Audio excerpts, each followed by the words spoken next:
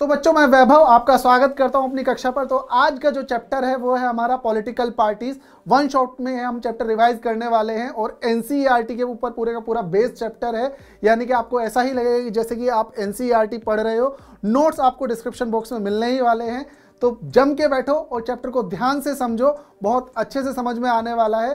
तो देखो बच्चों, यहाँ पे जो कहानी है इस चैप्टर की पॉलिटिकल पार्टीज़ की, उससे पहले कुछ हम जाते हैं अपनी पिछली क्लास में, जहाँ पे हमने हिस्ट्री का एक चैप्टर जिसका नाम था फ्रेंच रिवॉल्यूशन वहाँ पे कंडीशन को याद करो कि वहाँ पे लुइस सिक्सटीन रूल कर रहा है और वहाँ की जनता बहुत ज़्यादा परेशान है। तो क्या वो जनता उस लीडर को चेंज कर सकती थी? नहीं कर सकती थी। इसीलिए उन्होंने वहाँ पर रिवोल्ट किया और फ्रेंच रिवॉल्यूशन के बाद वहाँ की जनता को एक पावर मिली राइट टू वोट की। यानी कि अब वो वोट करके अपना लीडर चूज़ कर सकती थी। यानी कि अगर उन्हें इस बार वो लीडर पसंद नहीं आया तो नेक्स्ट इलेक्शन में वो अपने लीडर को चेंज कर सकती थी। इस पावर को बोला गया डेमोक्रेसी तो यानी कि डेमोक्रेसी एक वो पावर है, जहाँ पे आप अपने लीडर को by the means of elections elect कर सकते हो। यानी कि आप अपनी पिछली मिस्टेक को सुधार सकते हो। तो अब हमारे यहाँ पे भी ये कंडीशन हुई। कंडीशन कैसे कि डेमोक्रेसी आई जब हम 1947 में इंडिपेंडेंट हुए।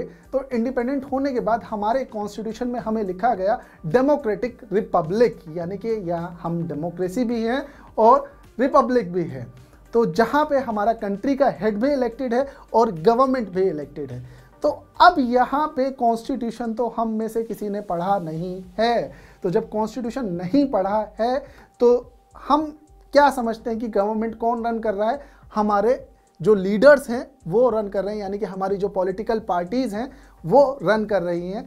तो पॉलिटिकल पार्टीज़ की ज़रूरत, यानी कि एक मेजर कंपोनेंट हो जाती है किसी भी डेमोक्रेसी में तो उस डेमोक्रेसी में जो मेजर कंपोनेंट है पॉलिटिकल पार्टीज़ तो वो बनती कैसे हैं? जैसे इंडिया में पॉलिटिकल पार्टीज़ को बनाने का तरीका क्या है कि आपको अपनी पार्टी इलेक्शन कमीशन के पास रजिस्टर्ड करानी पड़ेगी? दूसरा, कि हमें पॉलिटिकल पार्टीज़ की ज़रूरत पड़ती क्यों है? कि भाई, हमने पढ़ा डेमोक्रेसी में कि भाई, हमारी जो डेमोक्रेसी है, वो रिप्रेजेंटेटिव डेमोक्रेसी है। तो रिप्रेजेंटेटिव डेमोक्रेसी में रिप्रेजेंटेशन ज़रूरी है। अब वो रिप्रेजेंटेशन आएगा कहाँ से?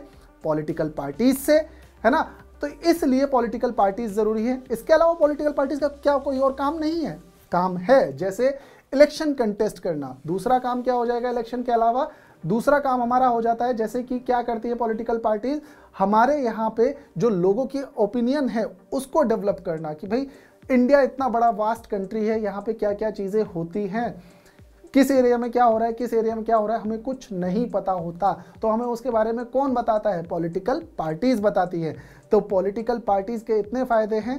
साथ ही साथ इस चैप्टर में हम पढ़ेंगे कि इंडिया एक फेडरल कंट्री है तो इंडिया में बहुत सारी पार्टीज़ हो सकती हैं, जैसे स्टेट पार्टी हो सकती है नेशनल पार्टी हो सकती है।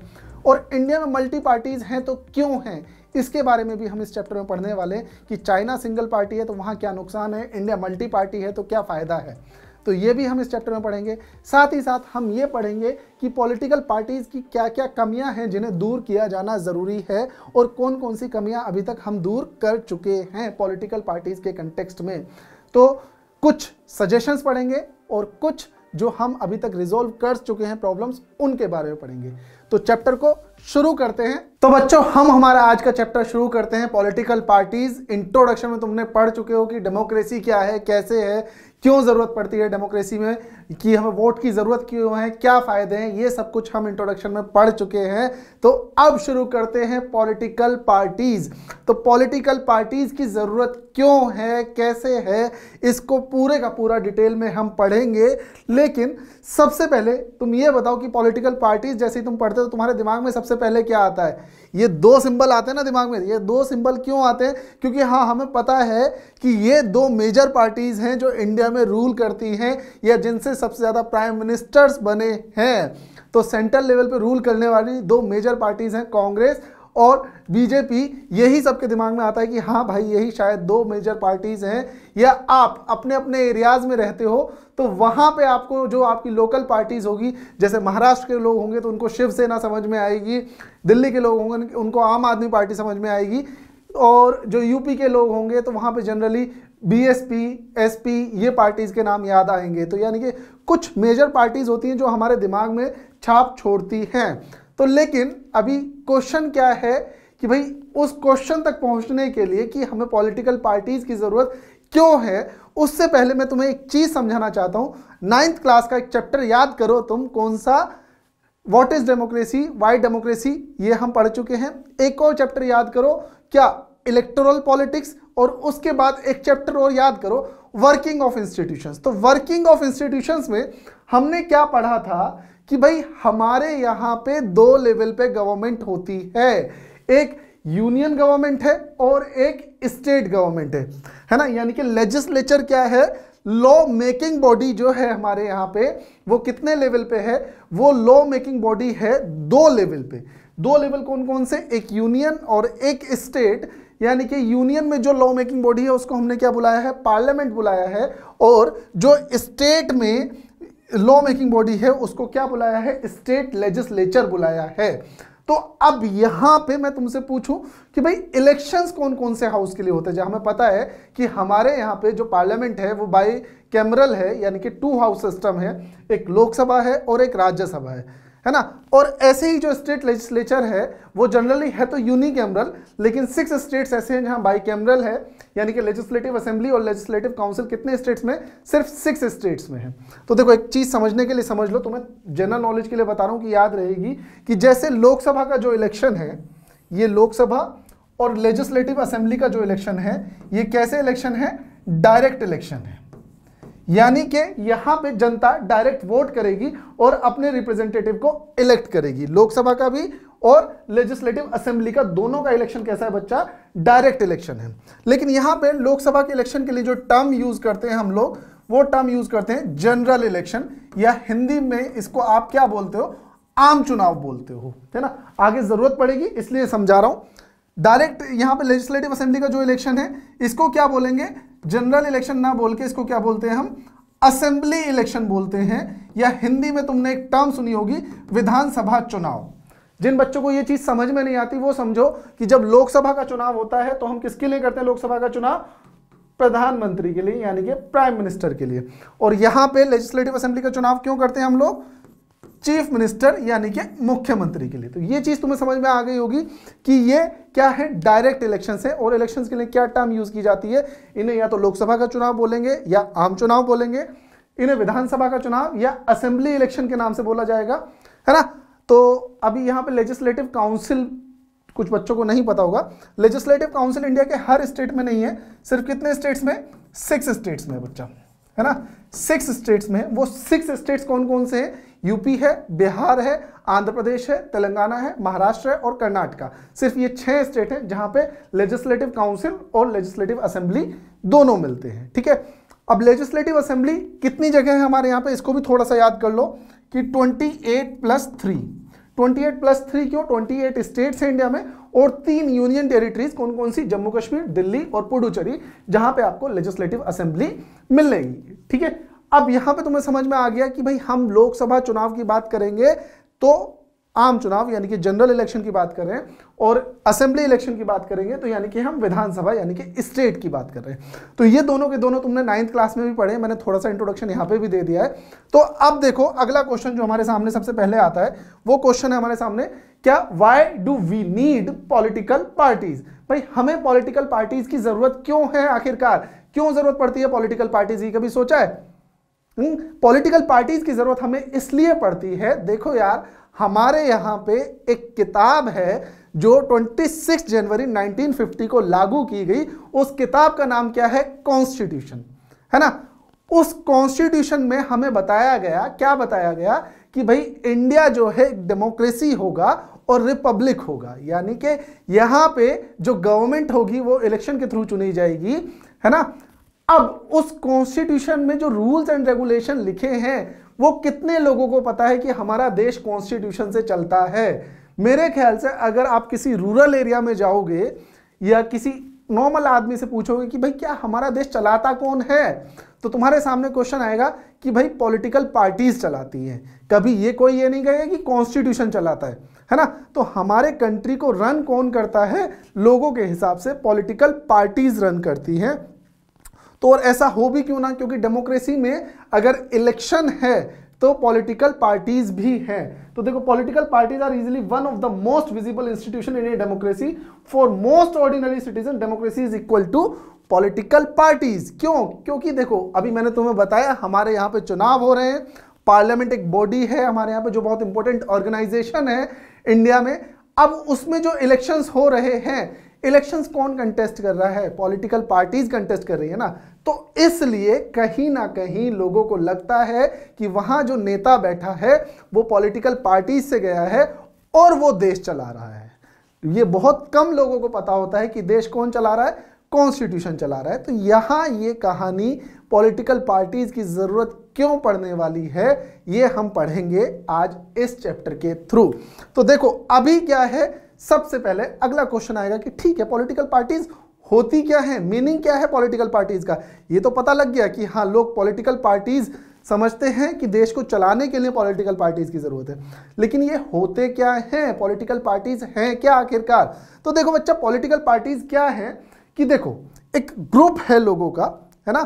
तो वो जो ग्रुप है, वो क्या करेगा? सबकी अच्छाई के लिए काम करेगा, यानी कि कलेक्टिव गुड को प्रमोट करेगा लोगों के, यानी कि जो देश में जनता है, जनता को आगे बढ़ाने के लिए या देश को ऊपर उठाने के लिए सबके लिए काम करेगा डेवलपमेंट की बात करेगा ग्रोथ की बात करेगा। तो वो कौन कर रहा है? वो ग्रुप बात कर रहा है। वो बात आपको कैसे बताएगा कि मैं अच्छा ही करूँगा? यानी कि अपनी पॉलिसीज़ बताएगा कि भाई कल को अगर मैं इलेक्शन कंटेस्ट करके जीतता हूँ तो इलेक्शन जीतने के बाद मैं इस पॉलिसी को ऐसे इंप्लीमेंट करूँगा या इस पॉलिसी को ऐसे इंप्लीमेंट करूँगा। तो अच्छा यहाँ पे मैंने एक टर्म यूज़ की इलेक्शन तो यानी कि कैसे आया उसको कैसे पावर में आएगा, कैसे अच्छा यह करेगा इंडिया के लिए? इलेक्शन के थ्रू यानी कि हमारे कंट्री के लिए एक ग्रुप होता है जो क्या करता है, लोगों की अच्छाई के लिए काम करेगा, कैसे इलेक्शन जीतने के बाद अपनी पॉलिसीज़ को आगे बढ़ा के, यानी कि अपनी पॉलिसीज़ को इंप्लीमेंट करने के लिए. तो समझ में आ गया पॉलिटिकल पार्टीज़ हैं क्या? पॉलिटिकल पार्टीज़ के बारे में तुम्हें समझ में आ गया होगा यहाँ पे कि ये मीनिंग है तो चलो, अब यहाँ पे मीनिंग तुम्हें समझ में आ गया। अब थोड़ा सा और डिटेल में चलते हैं कि भाई पॉलिटिकल पार्टीज़ की ज़रूरत है तो हमें क्यों ज़रूरत पड़ती है? तो देखो पॉलिटिकल पार्टीज़ जब किसी आदमी ने आपके दिमाग में कुछ बताया, है ना? मैंने आपको बताया कि भाई, ये जो पार्टी एक्स है, ये पार्टी वाई से अच्छी है। आप कहोगे कि भाई पार्टी एक्स से अच्छी क्यों पार्टी वाई से अच्छी क्यों है पार्टी एक्स तो मैं उसके लिए आपको कुछ चीज़ें बताऊँगा कि हाँ भाई, इस पार्टी में ये ये चीज़ें, ये पॉलिसी अच्छी है, ये इसके डिसीज़न मेकिंग पावर अच्छा है, इसका ये आदमी अच्छा है। मान लो मुझे कोई नेता अच्छा लग रहा है तो मैं उस नेता का नाम ले दूँगा। ये ये लीडर अच्छा है। तो ये सारी की सारी पॉलिसीज़ के बारे में मैं सुनूँगा। तो अब यहाँ पे आपने पार्टी एक्स के बारे में मैंने आपको बताया। लेकिन आप पार्टी वाई को ज़्यादा पसंद करते हो। पार्टी वाई को ज़्यादा पसंद करे तो उससे क्या हो जाएगा? सोसाइटी में डिवीज़न हो गया कि भाई, मेरे दिमाग में पार्टी एक्स अच्छी है, आपके दिमाग के हिसाब से पार्टी वाई अच्छी है। तो यानी कि जो सोसाइटी का एक फ्रैक्शन है, वो डिवीज़न हो गया, वो डिवाइड हो गया, डिवाइड हो गया तो उसी डिवीज़न को क्या बोला? पार्टीजनशिप बहुत इंपॉर्टेंट क्वेश्चन है, पूछ लिया जाता है। पहले पूछा भी गया what do you understand by partisanship partisanship से आप समझते क्या हो? तो पार्टीजनशिप क्या है? पार्टीजनशिप कुछ नहीं है। जब आप एक पार्टी को, यानी कि पॉलिटिकल पार्टी को, उसकी आइडियोलॉजी को, उसके काम को पसंद करने लगते हो और दूसरी पॉलिटिकल पार्टी को क्या करने लगते हो? कम समझने लगते हो या बेकार समझने लगते हो, उसी चीज़ को क्या बोला गया है? पार्टीजनशिप बोला गया है। क्या पार्टीजनशिप अच्छी है सोसाइटी के लिए? तो ऑब्वियस ही बात है, जब डिवीज़न कर रहा है तो अच्छा तो कुछ होगा नहीं। जो चीज़ डिवाइड करे सोसाइटी को, क्या वो अच्छी होगी? नहीं होगी। हम लोगों में एक आदत होती है ना कि हम लोग क्या करते हैं, नेताओं के फ़ैन हो जाते हैं कि यार हाँ भाई, वो मेरा नेता ऐसा है, मैं उसका फ़ैन हूँ। तो भाई, नेताओं के लिए फ़ैन होने की ज़रूरत नहीं है। डेमोक्रेसी क्या कहती है? डेमोक्रेसी कहती है कि आप जो नेता है, उसके अगेंस्ट बोलना सीखो। अगर वो कुछ गलत काम कर रहा है तो उसके गलत काम को गलत बताओ, अच्छे काम को अच्छा बताओ। ये चीज़ होती है। तो लेकिन हम लोग क्या करते हैं सोसाइटी में लड़ने लगते भाई, तूने मेरे नेता को ऐसा कैसे कह दिया? है ना? तो ये जो चीज़ें हैं, इन चीज़ों से हमें बचना चाहिए। ठीक है, काम को देखें और काम को देख के उसके आदमी के फेवर में वोट दें या उसके अगेंस्ट में वोट दें। डेमोक्रेसी की यही ब्यूटी है। तो यहाँ पे पार्टीजनशिप तो मैं समझ में आ गया कि सोसाइटी में किसी पॉलिटिकल आइडियोलॉजी की वजह से जो डिवीज़न है, उसी को क्या बोला गया है? पार्टीजनशिप बोला गया है। अगला क्वेश्चन देखो, क्या आता है कि भाई कंपोनेंट्स क्या क्या हैं किसी भी पॉलिटिकल पार्टी के? अगर मैं तुमसे कंपोनेंट्स की बात करूँ पॉलिटिकल पार्टी के तो यहाँ पे दो एग्जांपल लो। एक यूएसए का एग्जांपल लेते हैं और एक इंडिया का एग्जांपल लेते हैं। तो यूएसए और इंडिया में क्या अंतर है? सोचो जरा थोड़ा सा कि यूएसए में अगर किसी आदमी को प्रेसिडेंट का इलेक्शन कंटेस्ट करना है तो कौन कंटेस्ट करवा रहा है? और इंडिया में किसी को भी इलेक्शन कंटेस्ट करना है तो कौन करेगा इलेक्शन कंटेस्ट तो देखो, यहाँ पे एक चीज़ समझना यूएसए में जो पार्टी मेंबर्स होते हैं, वो बहुत बड़ा रोल प्ले करते हैं अपने लीडर को चूज़ करने में। यानी कि वो लीडर जो कल को प्रेसिडेंट का इलेक्शन कंटेस्ट करेगा। तो यूएसए में ये चीज़ अच्छी है कि वहाँ पे उनके मेंबर्स से पूछा जाता है कि भाई, बताओ हम प्रेसिडेंट का इलेक्शन किससे किसको कंटेस्ट करने के लिए खड़ा करें? लेकिन इंडिया में ऐसा नहीं है। इंडिया में लीडर्स ही सारे के सारे डिसीज़न ले लेते हैं। मेंबर्स के पास ऐसी कोई पावर नहीं होती। तो देखो, यहाँ पे जो कंपोनेंट्स हैं, कंपोनेंट्स में तीन मेन कंपोनेंट्स हैं, एक लीडर्स, एक मेंबर्स और एक फॉलोअर्स। तो ये तीनों क्या हैं, इनको समझो। लीडर्स वो हैं कि कल को अगर लोकसभा का चुनाव हुआ तो लोकसभा का चुनाव होने के बाद प्रधानमंत्री, यानी कि प्राइम मिनिस्टर कौन बनेगा, या उसके जो मिनिस्टर्स हैं वो कौन बनेगा? ये सारी की सारी चीज़ें किसमें आ गई?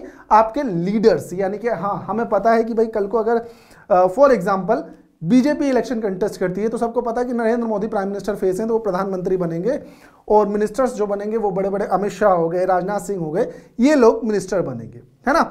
लेकिन उस पार्टी में जो मेंबर्स हैं, उनका क्या रोल था फिर? इलेक्शन जिताने के लिए काम तो उन्होंने भी किया है ना, कि भाई लोगों के पास गए हैं घर में, कि भाई ये काम करो, ऐसे करो इसको वोट दो, हम, आपका फ़ायदा होगा, ये फ़ायदे हैं, ये नुकसान है। तो काम तो मेंबर्स ने भी किया ना तो यहाँ पे जो लीडर्स हैं इंडिया में, ये मेजर रोल प्ले करते हैं किसी भी पॉलिटिकल पार्टी में। लेकिन उसके बाद आते हैं मेंबर्स ठीक है? मीन्स गवर्नमेंट फॉर्म कर देंगे। कौन लोग? लीडर्स फ़र्क करेंगे। लेकिन जो बेसिकली देखा जाए, धरातल पर, बिल्कुल नीचे आके जो काम कर रहे हैं, वो कौन कर रहा है? मेंबर्स काम कर रहे हैं। यानी कि गाँव गाँव में आप में से कितने लोग प्रधानमंत्री से मिले हो? नहीं मिले ना? लेकिन हाँ आप अपने एरिया में जो मेंबर्स होंगे, उनसे ज़रूर मिले होंगे। अपने आप मेरे ख्याल से लोकल एमपी से भी हम लोग नहीं मिल पाते एमएलए से भी नहीं मिल पाते हैं, है ना? तो ये कुछ कमियाँ हैं इंडिया और यूएसए के कंपेरिजन में, यानी कि वहाँ के मेंबर्स इलेक्ट करके भेजते हैं कि भाई ये लीडर बनेगा हमारा।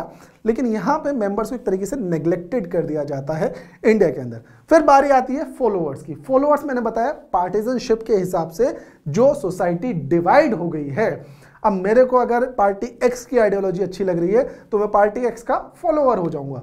आपको पार्टी वाई की आइडियोलॉजी अच्छी लग रही है तो आप पार्टी वाई के फॉलोअर हो जाओगे। तो यानी कि जो लोग वोट डाल रहे हैं फाइनली मेन पावर किसके हाथ में है? फॉलोअर्स के हाथ में। यानी कि वोट डालेंगे। ये गवर्नमेंट तभी बना पाएगा जब फॉलोअर्स इसको वोट देंगे। है ना? तो देखो वोट देने की जो मेन पावर है, वो किसके पास है? फॉलोअर्स के पास। तो देखा जाए इनडायरेक्टली जो लीडर्स चुन के जा रहे हैं, वो किसके थ्रू जा रहे हैं? फॉलोअर्स के थ्रू जा रहे हैं, ठीक है? तो हमारे यहाँ इंडिया में पावर किसके पास ज़्यादा है वैसे? लीडर्स के पास ज़्यादा पावर्स है। अगर पार्टी के कंटेक्स्ट में बात करी जाए मेंबर्स के पास इतनी पावर्स नहीं है। वहीं यूएसए में मैंने एग्जांपल बताया तुम्हें कि यूएसए में मेंबर्स के पास ज़्यादा पावर है लीडर बनाने के लिए, ठीक है? यहाँ जो लीडर है, वो लीडर है ही। कई बार तो मेंबर्स लीडर बन ही नहीं पाते हैं। कायदे में मेंबर्स को भी लीडर बनना चाहिए। उन्होंने इतने दिन लगाए काम करने के लिए पार्टी में, लेकिन ये पॉसिबिलिटी इंडिया में नहीं आ पाती है, ठीक है? फॉलोअर्स क्या है? जो वोट डाल के अपना चुन रहे हैं लीडर को, ठीक है? इसके बाद की कहानी आती है फ़ंक्शंस ऑफ़ पॉलिटिकल पार्टीज़ भैया, काम क्या है पॉलिटिकल पार्टीज़ का? कहना, सर, झूठ बोलना। कि वो झूठे वादे कर देते हैं और जो वो वादे करते हैं, वो हम तक कभी पहुँच नहीं पाते, है ना? तो नहीं, ये फ़ंक्शन तो नहीं है कायदे में हमारे कॉन्स्टिट्यूशन के हिसाब से। बाकी और कुछ फ़ंक्शंस हैं, उनके बारे में हम अभी बात करेंगे। जैसे सबसे पहला फ़ंक्शन हमारे दिमाग में क्या आता है कि भैया कंटेस्ट इलेक्शंस पॉलिटिकल पार्टीज़ होंगी तो वो इलेक्शन कंटेस्ट करेंगी। है ना? मैंने बताया था ना शुरू में ही मीनिंग में, क्या बताया था कि भैया एक ग्रुप होता है जो लोग, एक कलेक्टिव गुड के लिए काम करता है, अपनी पॉलिसीज़ को इंप्लीमेंट करा के, और वो पॉलिसीज़ कैसे इंप्लीमेंट कराएगा? इलेक्शन जीत के। तो पॉलिटिकल पार्टीज़ का मेन काम क्या है? इलेक्शन कंटेस्ट करना। यानी कि इंडिया एक डेमोक्रेटिक कंट्री है। तो जब वो डेमोक्रेटिक कंट्री है तो वहाँ पे इलेक्शन भी होंगे। इलेक्शन होगा तो इलेक्शन कंटेस्ट कौन कर रहा है? पॉलिटिकल पार्टीज़ कंटेस्ट कर रही है है ना? तो ये पॉलिटिकल पार्टीज़ क्या करेंगी? इलेक्शन कंटेस्ट करेंगी, है ना?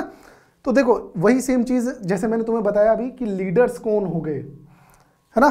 तो ये लीडर्स डिसाइड करेंगे कि भैया किस किस को टिकट मिलना चाहिए इलेक्शन कंटेस्ट करने के लिए। जैसे यहाँ पे आप अपने स्कूल का एग्ज़ाम्पल लो। स्कूल में सबसे ज़्यादा पावर किसके पास है? प्रिंसिपल के पास है ना? तो प्रिंसिपल डिसाइड करेगा कि किस क्लास का क्लास टीचर कौन बनेगा। ये प्रिंसिपल ही डिसाइड करता है ना। बाकी तो मेंबर्स और भी हैं, है ना? तो वो लीडर हो गया तो ऐसे ही यहाँ पे कि कौन किस सीट से इलेक्शन कंटेस्ट करेगा, ये डिसीज़न कौन ले रहा है? लीडर्स डिसीज़न ले रहा है। लीडर्स डिसीज़न ले रहे हैं कि उनकी पॉलिटिकल पार्टी से कौन इलेक्शन कंटेस्ट करेगा एक पर्टिकुलर एरिया से या कॉन्स्टिट्युएंसी से। तो कंटेस्ट इलेक्शन समझ में आ गया। पहला काम क्या हो गया? इलेक्शन कंटेस्ट करना। दूसरा काम क्या होगा, देखो shape public opinion public opinion को कैसे शेप करेंगे? पब्लिक ओपिनियन की बच्चा मैं बात बताऊँ तुम्हें तो यहाँ पे ध्यान से सुनो कि भाई इंडिया एक बहुत वास्ट लैंड मास है, बहुत बड़ा एरिया है इंडिया है ना? तो अब जब बहुत बड़ा एरिया है तो यहाँ पे कुछ लोग, जैसे आप लोग यूपी में रह रहे हो या दिल्ली में रह रहे हो या नॉर्थ इंडिया के किसी भी पार्ट में रह रहे हो तो हमें अपने स्टेट के बारे में ही नहीं पता होता। है ना? जैसे यूपी को अगर हम बात करें कि कई बार नाम लिया जाता है यूपी ईस्ट और यूपी वेस्ट तो यूपी वेस्ट वालों को यूपी ईस्ट के बारे में नहीं पता होता यूपी ईस्ट वालों को यूपी वेस्ट के बारे में नहीं पता होता। और तो और, आपका जो डिस्ट्रिक्ट है, वो इतना बड़ा डिस्ट्रिक्ट होता है कि आपको अपने डिस्ट्रिक्ट के बारे में ही नहीं पता होता, है ना? तो सोचो कि इंडिया के जो बाकी फर्दर पार्ट्स हैं, वहाँ क्या चल रहा है? वो कौन बताएगा आपको? वो बताएँगे आपके नेता। अब वो नेता कहाँ पे है? पॉलिटिकल पार्टीज़ में। तो दूसरा काम क्या हो गया? भैया पब्लिक ओपिनियन को शेप करना। कि क्या काम है? बेसिकली कि भाई, वहाँ पे ऐसा हो रहा है। तो ये हमें किसने बताया? पॉलिटिकल पार्टीज़ बताती है कैसे अपने भाषणों के थ्रू अपने जो पैम्फलेट बांटती हैं उसके थ्रू या जो उनका मैनिफेस्टो आता है इलेक्शन कैंपेनिंग में, उस टाइम पे कि भाई, ये ये चल रहा है, हम ये ये चीज़ें करेंगे। है ना? तो जैसे हम एग्ज़ाम्पल लेते हैं कि कोई भी एग्ज़ाम्पल लो कि किसी पार्टी एक्स ने कहा कि भाई मैं जो हूँ, आके क्या करूँगा कि स्कूल्स जो हैं, उनको डिजिटलाइज कर देंगे। तो जो स्कूल्स अभी तक गवर्नमेंट डिजिटलाइज नहीं है, उनको डिजिटलाइज कर दिया जाएगा। तो ये चीज़ अगर किसी को अच्छी लगेगी तो वो उसको वोट दे देगा। है ना? तो वो क्या बोलेगा? अगला आदमी कहता है कि नहीं, मैं स्पोर्ट्स के ऊपर ज़्यादा ध्यान दूँगा। बच्चे हैं भैया, बच्चों को तो खेल अच्छा है तो कहना हाँ यार स्पोर्ट्स वाले को वोट मिलना चाहिए, ना कि स्कूल वाले को जो डिजिटलाइज की बात कर रहा है स्कूल को डिजिटलाइज करने की। नहीं भैया, खेलना बहुत ज़रूरी है, मुझे क्रिकेट खेलना है, मुझे बास्केटबॉल खेलनी है।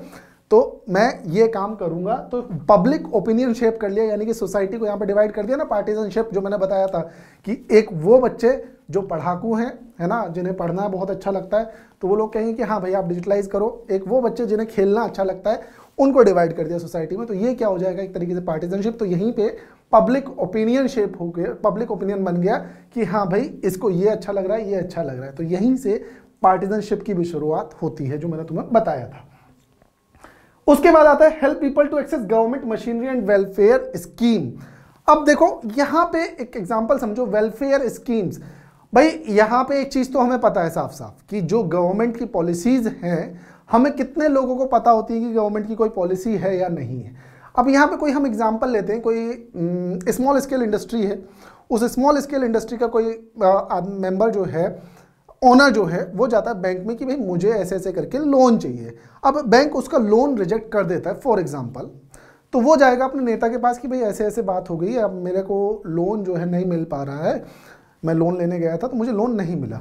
तो हो सकता है वो नेता बताए कि भाई, जैसे फ़िलहाल गवर्नमेंट ने एक स्कीम चलाई, मुद्रा स्कीम कि भाई आप मुद्रा स्कीम के थ्रू आप क्या करो? अप्लाई करो, क्या पता आपको लोन मिल जाए? तो ये हो सकता है। अब मान लो कहीं पे कोई झगड़ा हो जाए तो पुलिस या जो हमारे एडमिनिस्ट्रेटर्स होते हैं, हम उनसे बात करने से डरते हैं, हम उनको समझते हैं वो राजा महाराजा हो गए या कुछ भी है। लेकिन आप अपने जो नेता होते हैं, उनसे बात करने से नहीं डरते क्यों नहीं डरते? आपको पता है कि भाई मैंने वोट दिया था इसको। मेरे, हमारे बीच में से ही तो है ये। हमने वोट दिया था तो ये हमारी बात सुनेगा। तो इसलिए जो वेलफेयर स्कीम्स हैं गवर्नमेंट की वेरियस उनके बारे में भी कई बार कौन काम करता है? पॉलिटिकल पार्टीज़ काम करती हैं। पॉलिटिकल पार्टीज़ के कौन लोग? जो मेंबर्स हैं उसके। वो लोग भी कई बार काम करते हैं कि भाई देखो, हमारी पार्टी ने ये ये काम किए हैं, ये ये स्कीम्स लेके आई हैं। आप इन स्कीम्स का ऐसे ऐसे फ़ायदा उठा सकते हो। अगली बार हमारी गवर्नमेंट फिर से आएगी। तो क्या करोगे? आप अगली बार फिर से इसको इम्प्लीमेंट करा सकते हो। अगली बार से ये और अच्छा काम करेगी। तो ऐसे करके वेलफेयर स्कीम्स के बारे में बताया जाता है। दूसरा, जो इलेक्शंस हार जाती हैं डेमोक्रेसी की ब्यूटी क्या है? डेमोक्रेसी की ब्यूटी बच्चा ये है कि भाई डेमोक्रेसी की ब्यूटी है कि हमारे यहाँ पे हम हमारी गवर्नमेंट से क्वेश्चनिंग कर सकते हैं कि भाई आपने ये काम किया तो क्यों किया? लेकिन अब हम तो पॉलिटिकल पार्टी है ही नहीं, हम तो पार्लियामेंट में बैठे हुए हैं ही नहीं। तो पार्लियामेंट में कौन बैठता है हमारे क्वेश्चनिंग करने के लिए? अपोजिशन पार्टी तो यानी कि दो पार्टी हो जाती है, एक रूलिंग पार्टी जो गवर्नमेंट चला रही है या रन कर रही है, दूसरी पार्टी जो उस गवर्नमेंट से क्वेश्चनिंग करेगी कि भाई आपने ये करा तो क्यों करा? ये गलत है सोसाइटी के लिए या सही है? ये सारे के सारे काम कौन करता है? अपोजिशन पार्टी अगर पॉलिटिकल पार्टीज़ नहीं होंगी तो सोचो क्या अपोजिशन पार्टी फॉर्म हो सकती है? नहीं हो सकती, है ना? तो देखो, यहाँ पे मैं तुम्हें एक बात बता दूँ कि अपोजिशन पार्टी बनने के लिए मिनिमम वोट्स जो चाहिए, यानी कि मिनिमम सीट्स जो चाहिए वोट्स नहीं सीट्स जो चाहिए लोकसभा में, वो टोटल सीट्स का one by four one by ten चाहिए। वन बाई टेन कैसे चाहिए? यानी कि 543 सीट्स हैं तो 54 सीट्स उसके पास होनी चाहिए, तभी वो पार्टी को मेजर अपोजिशन पार्टी बोला जाएगा। वैसे तो सारी पार्टी अपोजिशन हो जाती है, लेकिन जो अपोजिशन लीडर बनेगा, वो उसी पार्टी का बनेगा, जिसके पास वन बाई टेंथ सीट्स होंगी। तो ये कहानी तुम्हें समझ में आ गई कि जो इलेक्शंस जीतती हैं, वो रूलिंग पार्टी हो जाती है और जो हारती हैं, वो अपोजिशन पार्टी हो जाती है, जो गवर्नमेंट से क्वेश्चनिंग करेंगी। इसके बाद अगला फ़ंक्शन हमारा आता है forms Indian government at different levels हम अगर इंडिया के कंटेक्स्ट में बात करें तो इंडिया एक क्वासी फेडरल कंट्री है, जहाँ पे वह एक से ज़्यादा लेवल पर गवर्नमेंट है। ये हम चैप्टर टू फेडरलिज्म में पढ़ के आ चुके हैं कि भाई इंडिया में तीन लेवल पे गवर्नमेंट है, सबसे पहले लोकल फिर स्टेट फिर सेंटर तो यहाँ पे तीनों लेवल पे गवर्नमेंट फॉर्म होती है। जैसे मैंने तुम्हें स्टार्टिंग में बताया था यूनियन लेवल पे और स्टेट लेवल पे और ऐसे ही लोकल लेवल पे भी। तो यहाँ पे कई बार क्या होता है पॉलिटिकल पार्टीज़ ही इलेक्शन कंटेस्ट करती हैं। कई बार क्या, हमेशा ऐसा ही होता है कि पॉलिटिकल पार्टीज़ इलेक्शन कंटेस्ट करती है जनरली सेंट्रल और स्टेट लेवल पे और वो अपनी गवर्नमेंट फॉर्म करती हैं। लोकल लेवल पे जनरली पॉलिटिकल पार्टीज़ इलेक्शन में पार्टिसिपेट नहीं करती हैं। बहुत कम चांसेस होते हैं कि वो ग्राम पंचायत लेवल पे इलेक्शन कंटेस्ट कर रही हैं या नहीं कर रही हैं। तो समझ में आ गई होगी ये चीज़ कि भैया क्या काम है रन करना गवर्नमेंट को डिफरेंट लेवल्स पे इलेक्शन जीतेंगी गवर्नमेंट बनाएँगी और अपनी पॉलिसीज़ इंप्लीमेंट कराएँगी डिफरेंट लेवल्स पे। उसके बाद अगला जो काम है decisive role in formulating laws कानून बनाने में काम करती है। कानून बनाने में कैसे काम करेंगी बच्चा? हमें सबको पता है कि अगर हम पार्लियामेंट के कंटेक्स्ट में बात करते हैं इंडिया में तो पार्लियामेंट में कितने हाउस हैं हमारे यहाँ पे बच्चा? दो हाउस हैं। एक हाउस है हमारे यहाँ पे लोकसभा। और दूसरा हाउस है हमारे यहाँ पे राज्यसभा। तो कोई भी लॉ बनेगा तो वो लॉ बनेगा कैसे? या तो लोकसभा से स्टार्ट होगा तो राज्यसभा जाएगा, और अगर राज्यसभा से स्टार्ट होगा तो लोकसभा होगा। अब अगर इन दोनों हाउसेस से पास हो जाएगा तो पास होने के बाद पहुंचेगा वो किसके पास बच्चा? प्रेसिडेंट के पास। तो अब अगर प्रेसिडेंट क्या कर देंगे, इस पर साइन कर देंगे तो वो लॉ बन जाएगा। ठीक है, साइन करने के बाद वो लॉ बन जाएगा formulating laws of the country तो कंट्री के लॉज को फॉर्मुलेट करने की बात की गई है, कौन करती है? पॉलिटिकल पार्टीज़ पार्लियामेंट में कौन बैठा है? इलेक्शन कंटेस्ट करने के बाद पॉलिटिकल पार्टीज़ ही बैठी हैं। तो पॉलिटिकल पार्टीज़ जब उन्होंने जो पॉलिसीज़ बताई थी आपको इलेक्शन कंटेस्ट करने से पहले, उनको लॉ बनाएगी कौन? पॉलिटिकल पार्टीज़ तो ये पॉलिटिकल पार्टीज़ कैसे बनाएँगी लॉ मैंने तुम्हें बता दिया, इस तरीके से बिल लेके आएँगी, बिल एक हाउस से पास होगा, फिर दूसरे हाउस में जाएगा, फिर दोनों हाउस से पास होने के बाद प्रेसिडेंट उस पर साइन कर देंगे और उस लॉ को, उस बिल को लॉ में कन्वर्ट कर देंगे। तो लॉ बनाने का तरीका तुम लोगों को समझ में आ गया होगा। आगे की कहानी समझो, आगे की कहानी क्या कहती है? अगला फ़ंक्शन ये कहता है put forward different policies and programmes अब गवर्नमेंट ने जो पॉलिसीज़ बनाई हैं, उनको इंप्लीमेंट करने का काम भी किसका है? पॉलिटिकल पार्टीज़ का ही काम है ना? तो जैसे एम जी नरेगा है एम जी नरेगा में जो पॉलिसीज़ बनी कि भाई हाँ डिसीज़न लिया गया कि हम रूरल एरियाज़ में 100 डेज़ के लिए क्या देंगे? एम्प्लॉयमेंट देंगे। तो 100 डेज़ के लिए जो एम्प्लॉयमेंट देने की बात कही गई तो वो देने का काम कौन करेगा? गवर्नमेंट ही करेगी ना? तो वो गवर्नमेंट कहाँ से बनी है? पॉलिटिकल पार्टीज़ से। तो जहाँ पे पॉलिटिकल पार्टीज़ होंगी तो डिफरेंट पॉलिसीज़ और प्रोग्राम्स को आगे बढ़ाने का काम भी कौन कर रहा है? पॉलिटिकल पार्टीज़ कर रही है। हम अपने मीनिंग में पढ़ चुके थे। मीनिंग में क्या पढ़ा था? एक ग्रुप है जो कलेक्टिव गुड के लिए काम कर रहा है। अपनी पॉलिसीज़ को आगे बढ़ा के कैसे इलेक्शन जीतने के बाद तो इलेक्शन जीता तो पॉलिटिकल पार्टी ने इलेक्शन जीता, उसी ने अपनी गवर्नमेंट फॉर्म की। अपनी गवर्नमेंट फॉर्म करने के बाद उसने ये सारे के सारे काम किए। अब यहाँ पे अगला क्वेश्चन है नेसेसिटी ऑफ़ पॉलिटिकल पार्टीज़ तो देखो यार नेसेसिटी की अगर मैं तुमसे बात करूँ पॉलिटिकल पार्टीज़ की, अब यहाँ पे एक चीज़ समझो कि भाई, ये पर्सन एक्स है, ये पर्सन वाई है, ये पर्सन जेड है, ये पर्सन ए है। इसने भी इलेक्शन कंटेस्ट किया, इसने भी कंटेस्ट किया, इसने भी कंटेस्ट किया, इसने भी कंटेस्ट किया। ठीक है? ये भी जीत गया, ये भी जीत गया, ये भी जीत गया, ये भी जीत गया। सारे के सारे इलेक्शन जीत गए। अब इंडिया पे या किसी भी कंट्री पे डिसीज़न लेने की पावर आती है कि भाई हमें डिसीज़न लेना है कि हमें दूसरे कंट्री से क्या खरीदने, हथियार खरीदने। फॉर एग्ज़ाम्पल हम हेलीकॉप्टर की बात करते हैं, ठीक है? यूएसए में एक हेलीकॉप्टर है, कौन सा? अपाचे है ना? रशिया की बात करें। रशिया में एक हेलीकॉप्टर है एम सेवनटीन है ना? अब पर्सन एक्स कहता है कि भाई हम यूएसए से खरीदेंगे। पर्सन ए कह रहा है, हम रशिया से खरीदेंगे। अब पर्सन वाई कह रहा है कि भाई मैं कहाँ से खरीदूँगा? चाइना से खरीदते हैं। ये पर्सन जेड कह रहा है कि नहीं यार, हम फ्रांस से खरीदते हैं। है ना? तो ऐसे करके चारों अलग अलग हो गए। डिसीज़न किसने लिया? डिसीज़न कोई नहीं ले पाएगा अगर मेजोरिटी नहीं आएगी। अब मेजोरिटी आएगी कैसे? जब एक ही आइडियोलॉजी के लोग बैठे होंगे, ये चार लोग हैं, चारों की आइडियोलॉजी अलग है तो चारों की आइडियोलॉजी अलग है तो डिसीज़न लेने में दिक्कत होगी या नहीं होगी? अब सोचो पॉलिटिकल पार्टीज़ अगर नहीं है, हर कोई कैंडिडेट इंडिपेंडेंट लड़ा है है ना? सबसे पहली चीज़ every candidate in the election will be independent independent हो जाएगा so no one will be able to make any promise to the people about any major policy change कोई वायदा नहीं करेगा कि हाँ भाई, मैं देश के लिए ऐसा करूँगा, आपको एम्प्लॉयमेंट दूँगा, या आपका ये फ़ायदा करूँगा, ये फ़ायदा करूँगा। ऐसे कोई वादा नहीं कर पाएगा। क्यों नहीं कर पाएगा? प्रॉमिस आपसे या वायदा क्यों नहीं कर पाएगा? क्योंकि क्योंकि उसके पास पावर ही नहीं होगी। अब मैंने जैसे यहाँ पे एग्जांपल बताया कि भाई एक्स वाई जेड जो है, ये चार कैंडिडेट हैं, इनके पास अलग अलग डिमांड है तो अलग अलग चीज़ों से इन्होंने इंप्लीमेंट करने की कोशिश करेंगे तो क्या होगा? क्लैश होगा। क्लैश होगा तो क्लैश होकर डिसीज़न मेकिंग बहुत ज़्यादा बेकार हो जाएगी। और अगर कुछ भी गलत होता है, ठीक है ना? कुछ भी गलत होता है तो it is not my responsibility मेरी ज़िम्मेदारी नहीं है। पर्सन वाई था ना, उसने क्यों निकल लिया? पर्सन जेड था ना, उसने क्यों निकल लिया? तो ये सारी की सारी चीज़ें हमारे पास इंप्लीमेंट होने में दिक्कत होगी। अगर हमारे पास पॉलिटिकल पार्टीज़ नहीं होंगी। इसलिए ज़रूरी होती हैं हमारे यहाँ पर पॉलिटिकल पार्टीज़ तो ये कहानी तुम्हें समझ में आई होगी कि ज़रूरत क्यों है पॉलिटिकल पार्टीज़ की। देखो, दूसरा जो इंपॉर्टेंट पार्ट है कि पॉलिटिकल पार्टीज़ होने की वजह से हमें क्या फ़ायदे होते हैं, वो हमने नुकसान पढ़ा कि कोई डिसीज़न नहीं लिया जाएगा। अब फ़ायदा पढ़ो कि पॉलिटिकल पार्टीज़ होने की वजह से फ़ायदा क्या होगा। सबसे पहले रिप्रेजेंटेटिव डेमोक्रेसी में पॉलिटिकल पार्टीज़ की बहुत ज़रूरत है।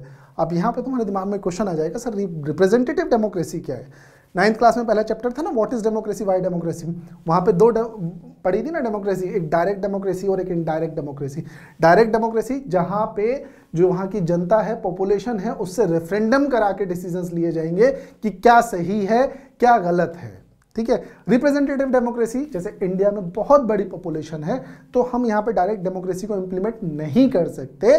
तो हमने क्या करा? हमने करा रिप्रेजेंटेटिव डेमोक्रेसी यानी कि इनडायरेक्ट डेमोक्रेसी की हमारे रिप्रेजेंटेटिव पार्लियामेंट में बैठेंगे और वो जाके हमारे बिहाफ पे डिसीजंस लेंगे कि भैया ये चीज़ है और ये चीज़ ऐसे होनी चाहिए। तो वो हो गया रिप्रेजेंटेटिव डेमोक्रेसी तो डेमोक्रेसी होगी पॉलिटिकल पार्टीज़ में तो वो रिप्रेजेंटेटिव डेमोक्रेसी बनेगी। यहाँ पे क्या होगा रिस्पॉन्सिबल गवर्नमेंट बनेगी।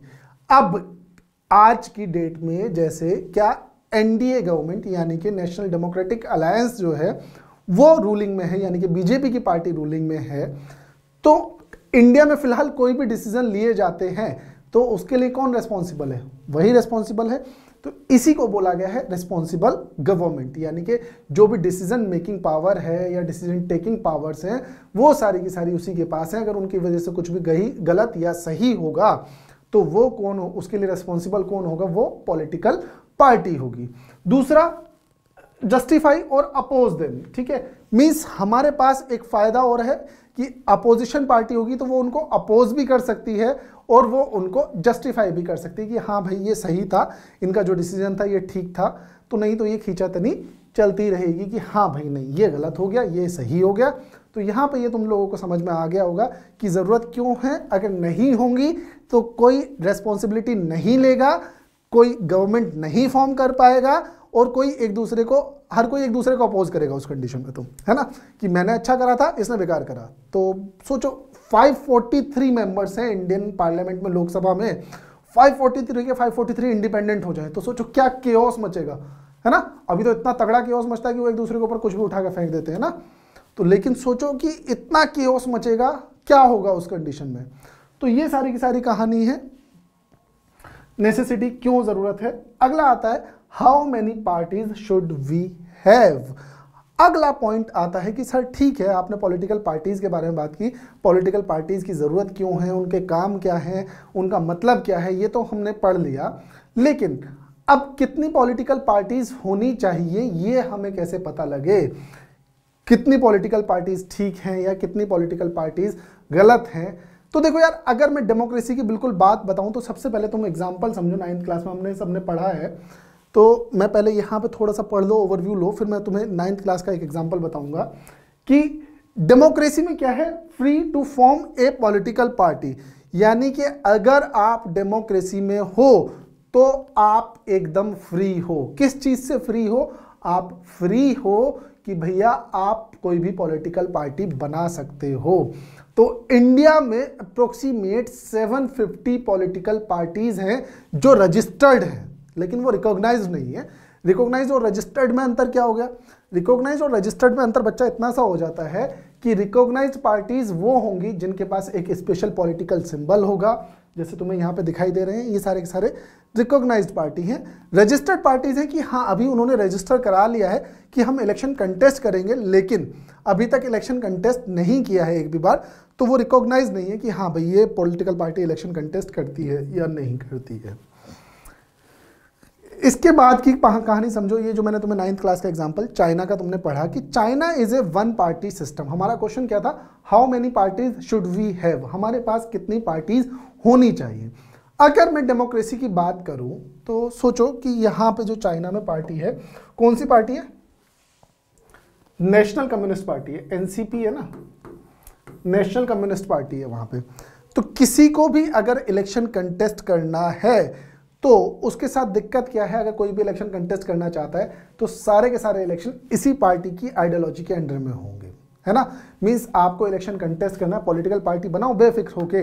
लेकिन इन द एंड आपको वो पॉलिटिकल पार्टी कम्युनिस्ट पार्टी के साथ क्या करनी पड़ेगी? मर्ज करनी पड़ेगी। चाइना चाइना की जो पीपल्स पार्टी है, उसके साथ क्या करना पड़ेगा आपको? मर्ज करना पड़ेगा। चाइना की पीपल्स पार्टी जो है है ना? तो जब पीपल्स पार्टी के साथ आप मर्ज कर जाओगे, वो कैसी पार्टी कैसी आइडियोलॉजी की है? कम्युनिस्ट आइडियोलॉजी की। तो आप कितनी भी पार्टी बना लो, कोई फ़ायदा होगा नहीं। तो वहाँ पे कैसा पार्टी रूल है? वन पार्टी रूल है। अब डेमोक्रेसी, नाम का डेमोक्रेसी है, क्योंकि यहाँ पे कभी वो पार्टी हारेगी ही नहीं। अब जब वो पार्टी हारेगी ही नहीं तो डेमोक्रेसी का फ़ायदा क्या हुआ? है ना? तो डेमोक्रेसी में क्या ज़रूरी है बच्चा? कम से कम दो पार्टी तो हो। यानी कि इसको इस तरीके से समझो कि डेमोक्रेसी ट्रू डेमोक्रेसी हम उसी को बोलेंगे कि जहाँ किसी कैंडिडेट के जितने जीतने के चांसेस हैं, उतने उसके हारने के भी चांसेस होने चाहिए। अब वहाँ है ही एक पार्टी तो वहाँ तो कभी कोई हारेगा ही नहीं, है ना? तो एटलीस्ट बाई पार्टी सिस्टम तो हो। तो जैसे अगर मैं तुमसे बात करूँ, अगले दो कंट्रीज़ हमारे यूएसए और यूके ये कैसे है बच्चा? बाय पार्टी सिस्टम है टू पार्टी सिस्टम है। यहाँ पे दो मेजर पार्टीज़ हैं। पार्टीज़ और भी हैं, लेकिन दो मेजर पार्टीज़ हैं जो हमेशा गवर्नमेंट फॉर्म करेंगी। जैसे यूएसए में रिपब्लिकन्स और डेमोक्रेट्स और यूनाइटेड किंगडम में लेबर पार्टी और कंजर्वेटिव पार्टी तो ये पार्टीज़ तुम्हें समझ में आ गई होंगी कि यहाँ पे पार्टीज़ का रोल क्या है सिंगल पार्टी में क्या नुकसान है बाई पार्टी में क्या फ़ायदे हैं। अब हम बात करते हैं हमारे इंडिया जैसे कंट्री की। तो इंडिया जैसे कंट्री की बात करें तो हमारे यहाँ पे मल्टी पार्टी सिस्टम है। अब वो मल्टी पार्टी सिस्टम यानी कि बहुत सारी पार्टीज़ जैसे ही मैंने शुरू में बताया अभी तुम लोगों को कि approximate 750 parties are registered with Election Commission Election Commission के साथ साढ़े सात सौ से ज़्यादा पॉलिटिकल पार्टीज़ रजिस्टर्ड हैं। अब ऐसा क्यों? है ना? इंडिया में एक चीज़ है कि भैया कोस कोस पर पानी बदले, है ना? ऐसा कुछ है ना? हर कोस कोस पर वाणी बदले और हर दस कोस पर पानी, है ना? ऐसे करके कहावत है कि भैया, कोस कोस पर आप थोड़ी सी दूर जाओगे तो आपको एकदम से, कहते हैं ना, हम जो हमारा डायलेक्ट है, वो एकदम चेंज हो जाएगा। तो इतने सारे तो डाइवर्सिफिकेशन है लैंग्वेज के बेसिस पे। फिर उसके बाद डाइवर्सिफिकेशन आ जाता है आपके कल्चर को लेके। नॉर्थ इंडिया में अलग कल्चर है साउथ इंडिया में अलग कल्चर है है ना? उसके बाद आपको डाइवर्सिफिकेशन आ जाएगा रिलीजन को लेके। इतने सारे रिलीजन है इंडिया में, है ना? फिर आ जाएगा कास्ट को लेके। तो अब सोचो, हर किसी के पॉलिटिकल एस्पिरेशन होंगे। तो कितनी सारी पॉलिटिकल पार्टीज़ इंडिया में बन सकती हैं? तो हर किसी को मौका मिले। तो इसलिए इंडिया ने क्या किया? मल्टी पार्टी सिस्टम को अपनाया और मल्टी, इंडिया के अलावा फ्रांस एक ऐसा कंट्री है जहाँ पे मल्टी पार्टी सिस्टम है। उसके बाद बात करते हैं हम कि देखो, वही चीज़ जो मैं बता रहा था तुम्हें भी कि जो party system is not something any country can choose. Country खुद चूज़ नहीं करती। एक इवोल्यूटरी प्रोसेसर है, क्या है? प्रोसेस है कि कैसे है ये प्रोसेस कि भाई इसमें बहुत सारी चीज़ें रोल प्ले करती हैं, वो बहुत सारी चीज़ें क्या है भाई? देखो जैसे नेचर ऑफ़ सोसाइटी मैंने बताया सोशल एंड रीजनल डिविजन्स जैसे मैंने बताया सोशल सोसाइटी में अगर रिलीजन के बेसिस पे डिवीज़न हो जाएगा कास्ट के बेसिस पे डिवीज़न हो जाएगा तो ये सोशल डिवीज़न हो गए। Regional division place of birth भैया मैं यूपी का रहने वाला हूँ, मैं हरियाणा का रहने वाला हूँ, मैं झारखंड का रहने वाला हूँ तो ये बहुत सारी की सारी चीज़ें डिवाइड हो जाएगी, है ना? It's history of politics. Politics की हिस्ट्री क्या है कि जैसे पास टाइम में जो दलित थे, उनको रोल नहीं मिला तो अब दलित कहेंगे कि हमें भी पार्टिसिपेशन करना है है ना? तो it's system of elections. Elections का सिस्टम क्या है? तो बहुत सारी चीज़ें डिपेंड करती हैं किसी भी कंट्री को कितनी पार्टीज़ बनानी चाहिए। These can not be change very quickly each country develops a party system that is conditioned by its special circumstances जैसे मैंने इंडिया के कंटेक्स में तुम्हें एग्ज़ाम्पल बताया। जैसे India has evolve multi party system it is because the social and geographical diversity in such a large country is not easily absorb by two और even three parties बिल्कुल obvious ही बात है कि दो या तीन पार्टी हमारे यहाँ पे काम नहीं चला सकती थी, इतना डाइवर्सिफिकेशन है। है ना? तो इसीलिए इंडिया धीरे धीरे इवॉल्व होता है किसमें मल्टी पार्टी सिस्टम में। है ना? तो ये तुम्हें समझ में आ गया होगा पूरी की पूरी कहानी। इसके बाद की जो कहानी है हमारी बच्चा, इसके बाद की कहानी समझो। क्या है? कोएलिशन गवर्नमेंट अब जब इतनी सारी पार्टीज़ आ जाएँगी तो कोएलिशन गवर्नमेंट भी आ जाएगी। कोएलिशन गवर्नमेंट देखो, यहाँ बहुत ध्यान से समझना इस चीज़ को, कि अगर तुम यहाँ पे देख रहे होगे, कि अगर मैं यहाँ पे तुमसे फ़र्स्ट सेकंड थर्ड करने को कहूँ तो तुम्हें दिखाई दे रहा होगा कि भाई ये फ़र्स्ट है, ये सेकंड है, ये थर्ड अब इन्होंने कहा कि भाई अगर हम दोनों मिल जाएँ तो हम दोनों मिलकर इससे ऊपर निकल जाएँगे और हम अपनी गवर्नमेंट फॉर्म कर सकते हैं। तो कांग्रेस और जेडीएस ने हाथ मिलाया तो अब ये वन हो गया, ये टू हो गया। तो अब यहाँ पे ये लोग गवर्नमेंट फॉर्म कर रहे हैं, दो लोग मिलके। तो इसी को क्या बोला गया है? कोएलिशन गवर्नमेंट बोला गया है। तो यानी कि कोएलिशन गवर्नमेंट क्या हो गया? Formed jointly by more than one political party जब एक से ज़्यादा पॉलिटिकल पार्टी मिल जाए तो क्या बनाती है? कोएलिशन बनाती है। कहना, सर, इन्हें कोएलिशन क्यों बनाना पड़ा? जब इसके पास सीट ज़्यादा थी कोएलिशन इसलिए बनाना पड़ता है बच्चा कि हमारे कॉन्स्टिट्यूशन में एक चीज़ बताई गई है कि जब तक किसी पार्टी को एब्सोल्यूट मेजोरिटी नहीं मिलेगी तो वो गवर्नमेंट फॉर्म नहीं कर सकती। यानी कि अब यहाँ पे क्वेश्चन अराइज हो जाता है कि सर एब्सोल्यूट मेजोरिटी होती क्या है? एब्सोल्यूट मेजोरिटी को ध्यान से समझना बच्चा एब्सोल्यूट मेजोरिटी कुछ नहीं है। 50 परसेंट प्लस वन है of total strength total strength का 50 परसेंट प्लस वन। ठीक है?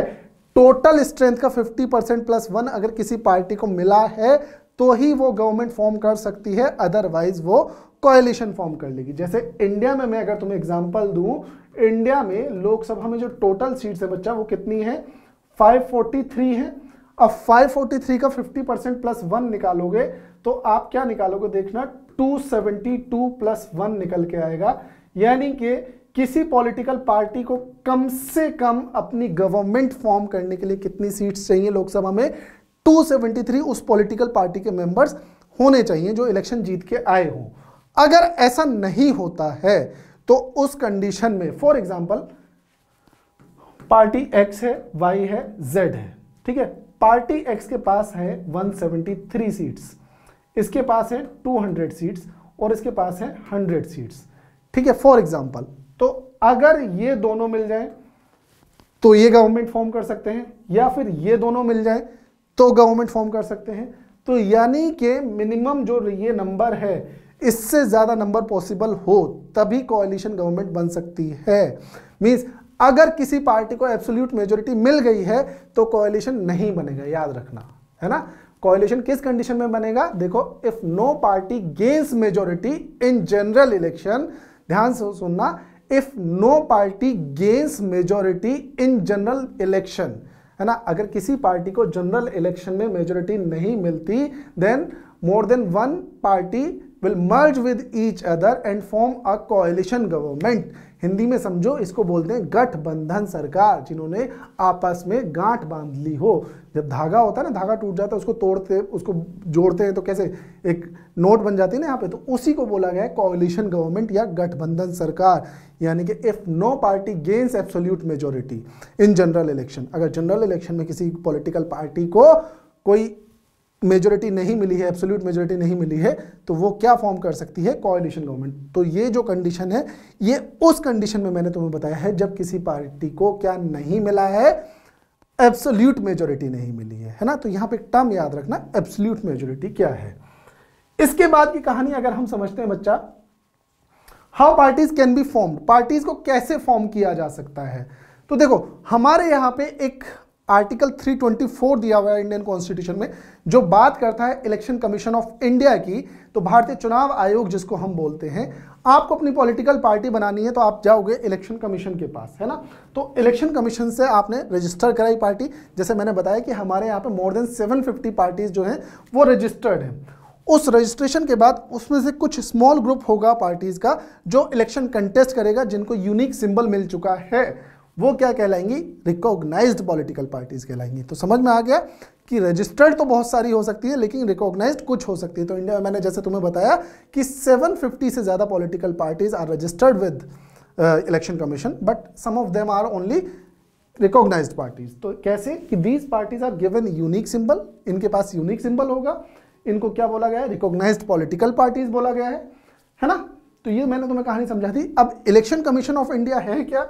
इलेक्शन कमीशन ऑफ़ इंडिया को समझो, एक क्या है? ऑटोनोमस बॉडी है। अब यहाँ पे ऑटोनोमस का मतलब क्या है?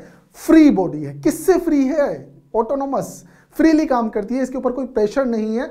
ना तो गवर्नमेंट का प्रेशर है कोई, और ना ही किसी और का प्रेशर है। तो इसको बोला गया है ऑटोनोमस बॉडी तो यानी कि ऑटोनोमस बॉडी तुम्हें समझ में आ गया? इंडिपेंडेंट बॉडी है जो इंडिपेंडेंटली काम करती है।